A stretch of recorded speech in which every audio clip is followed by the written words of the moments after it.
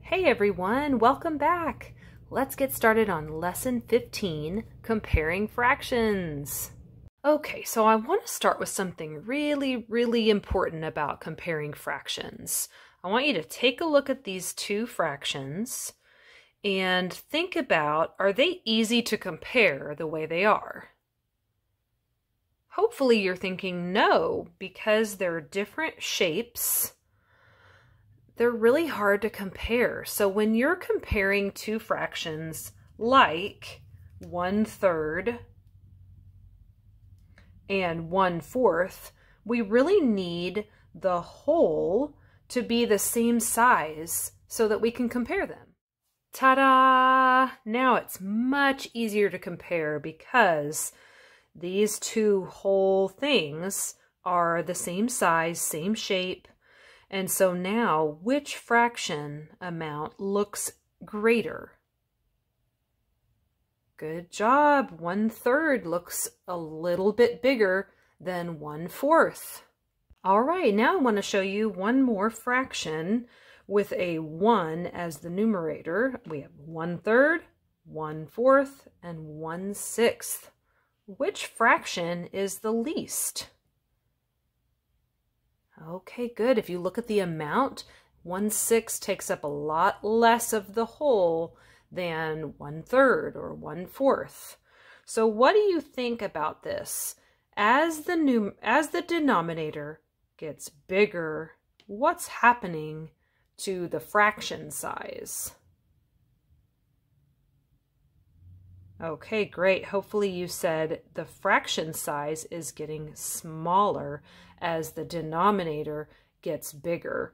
That's because, if you're wondering why, that's because if you have more pieces, so the denominator is the total pieces, if you've got more pieces, they have to be smaller because you're cutting the same thing up into more pieces. So think about if you cut it into 12 pieces, it'd be a lot smaller.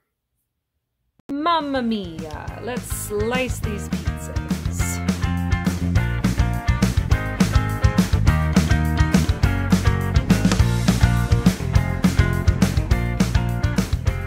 And now we're going to compare if we ate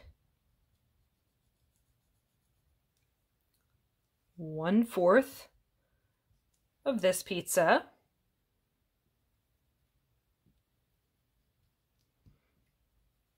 And three eighths of this pizza. I want you to think about comparing these two pizzas and we're going to try using a comparison symbol. So it's either going to be um, greater than, equal to, or less than. Now our last video was on equivalent fractions and that can really come in handy when you're comparing two different fractions, especially like these two. We can see that one fourth is equal to or equivalent to two of these pieces, so two eighths. So that means that three eighths must be greater, okay? And so if you need to look back at the equivalent fractions video, that would be great if you need a little bit more on that. Also, I did a video on comparing whole numbers, and this is my trick that really helps me a lot. So my bigger fraction gets two dots, my smaller fraction gets one dot, and then I just connect the dots.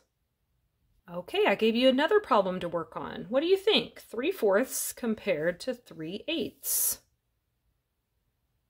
Okay, hopefully you didn't get fooled by this. 8 sounds bigger, but when you look at the picture, that's why I love having a picture of each fraction.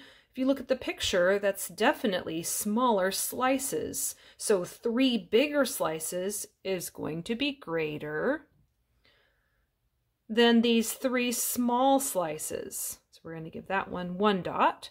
We're going to connect the dots. And if you were to read this statement, it says 3 fourths is greater than 3 eighths.